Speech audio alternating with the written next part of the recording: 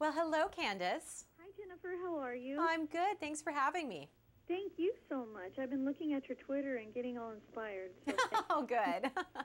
you know, what are some of some simple ways we can decorate our homes on a budget?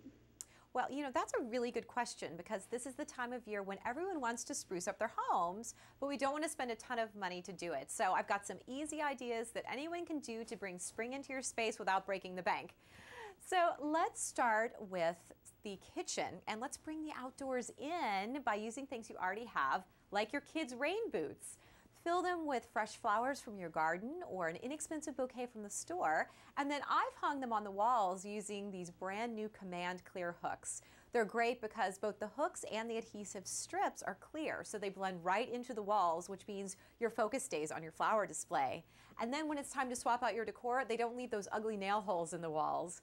I've teamed with Command Brand because they use a technology that goes on strong but comes off clean without damaging surfaces. Just gently hold the hook with one hand, then stretch and release the adhesive strip. Super simple. What are the latest colors and trends in design?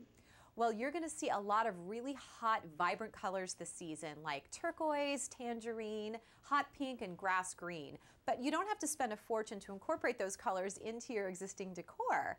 Candles, for example, are a great way to add warmth and a bit of accent, but you don't have to throw out the old candles every time you want a new color. Instead, stick with neutral colored candles in glass containers and then create your own custom fabric wraps. These are so much fun because you can do them for holidays, special occasions, or just to bring a pop of color into your room. And then when you want to change, all you do is swap out the wrap. Do you have any suggestions when it comes to decorating our bedroom? Well, you know, in the bedroom or the living room, it can get very expensive and time consuming to get all new furniture or repaint all your walls. So instead, when you're doing your spring cleaning this year, look for things that you already have that you could repurpose in a different way. Like a great way to add a splash of color to your walls without ever picking up a paintbrush is to use your old CD jewel cases. Take out the existing artwork and then add scrapbook paper in a bunch of different colors and patterns. Then when you assemble them all together on the wall, they form a mosaic of spring color that's so much fun. And the great thing is that paper is inexpensive, so whenever you want to change, you just swap out the papers. Oh, how fun. Super fun. Oh, and here's a really fun idea for a bedroom. Create your own three-dimensional wall art. Start with a large decal like a tree or branches, and then add butterflies, birds, picture frames, anything you can think of to give that three-dimensional look. If you have a small child, you could even hang stuffed animals in the trees. Just put the hooks low enough that they can take the stuffed animals off the walls when they want to play with them. Or you could create an outer space scene with a giant moon decal surrounded by 3D stars and rocket ships. Just use your imagination and have fun.